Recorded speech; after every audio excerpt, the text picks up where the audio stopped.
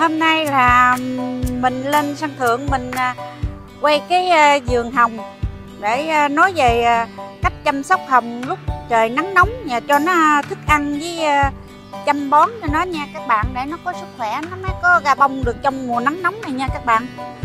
Đây là cái phân hồng nè các bạn. Cái video trước á, mình nói là phân hồng bán ở chỗ người ta bán hồng đó đây là phân hồng nè. Đó.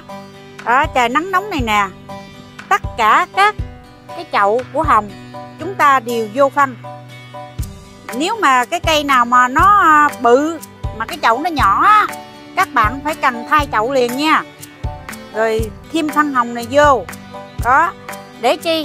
Để khi mà trời nắng này nè, mình thêm phân hồng vào gốc á, để mình à, tưới á, nó giữ được cái độ ẩm trong cái gốc hồng á.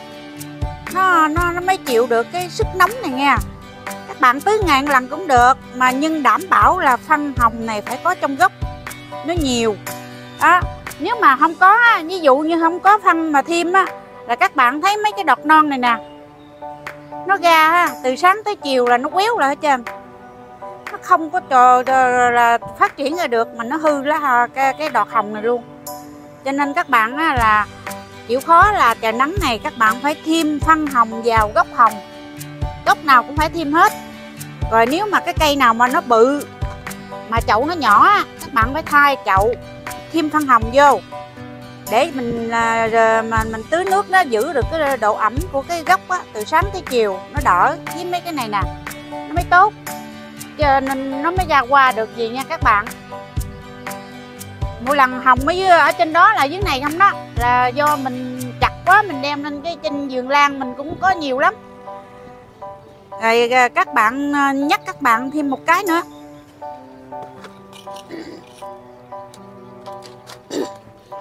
Đây là cái phân hồng, phân hữu cơ. Đó, phân hữu cơ các bạn coi cho kỹ nha. Đó, ví dụ mà nó ra bông như vậy nè. Cách 10 ngày 7 bữa 10 ngày, các bạn á, hốt nhúm này nè bạn đổ ra cái tô đi. Cái tô cái ấy gì cũng được, một nhúm bao nhiêu thôi nha các bạn. Gãi vô gốc. Là nó giữ được cái bông nó kéo dài được lâu. Cái trời nắng này nó mà nó mau lắm nha các bạn. Nên 10 7 bữa 10 ngày vô nhúm nhúm gì đó đừng vô nhiều. Đó, rồi nó giữ được cái bông được kéo dài. Trong thời gian các bạn chơi mà nếu bông mà nó à, kéo dài nó hết được, nó xuống sắc á bạn cắt hết. Đừng có tiếc cắt hết đi. Là những cái đọt non nó gần ở đây nè. Nó sẽ đâm nó đâm chồi ra. Là nó có ờ, bông nữa cho các bạn coi chơi. Các bạn hà tiện mà các bạn ờ, tiếc tiếc các bạn không cắt nữa, là nó ra không có tơ không có đẹp. Cho nên các bạn cần phải lưu ý là cái chỗ đó đó. Nè các bạn thấy không? Những cái bông này nè này là bông hồng lửa.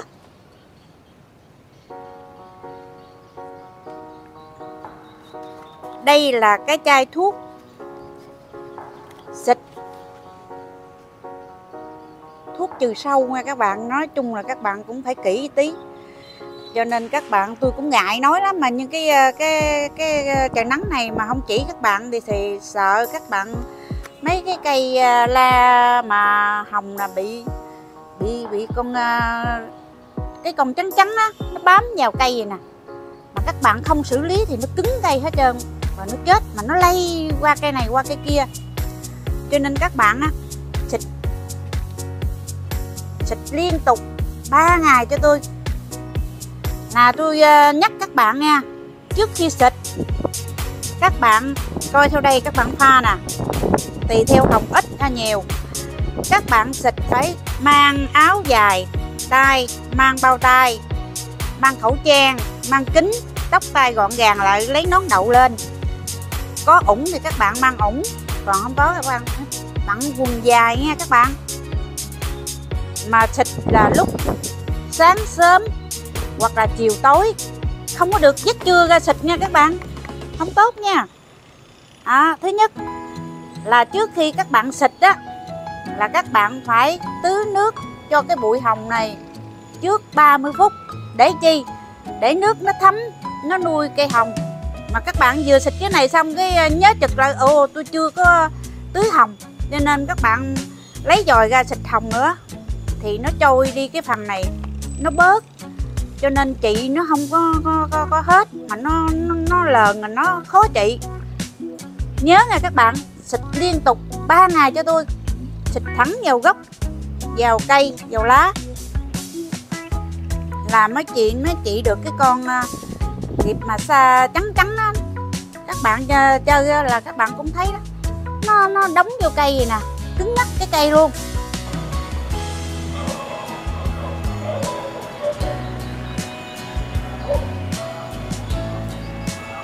Nè mấy cái này nè anh quay đi. À, đẹp á.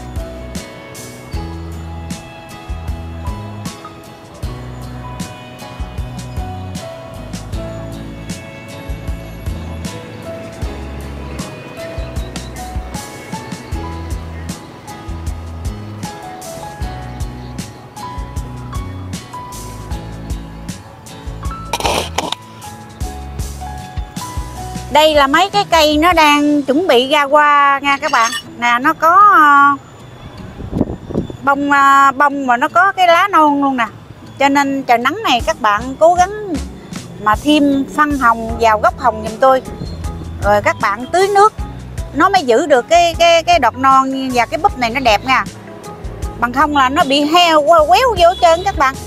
Nó bị ờ, nắng nóng nó quéo vô trơn nhắc lại một lần nữa thêm thân hồng vào chậu hồng. Chậu nào cũng thêm hết. Đối với cây nào mà nó bự, mà chậu nó nhỏ thì phải thay chậu thêm thân hồng vào. Để tưới nước nó giữ được độ ẩm của cái ờ, cái nước mình tưới á. Nhớ tưới sáng sớm hoặc là chiều tối. Sáng trước 7 giờ và sau 4 giờ chiều là 16 giờ đó các bạn tưới một lượt nước nhiều nha các bạn cho nó ẩm hết cái gốc nha. Nếu mình tưới có một lần á là mình phải tưới như vậy đó nó mới giữ được cái ờ, hồng nó đẹp nè nó non nè các bạn thấy không? Nó ra nè. Nó không có bị quéo. Tôi chăm sóc là kỹ lắm đó, cho nên nó mới được như vậy nè. Các bạn nhớ chăm sóc giống như tôi nha. Để hoa hồng nó nở đẹp.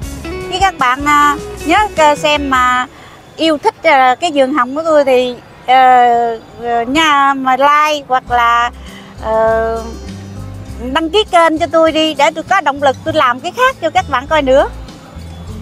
Bye bye các bạn nha.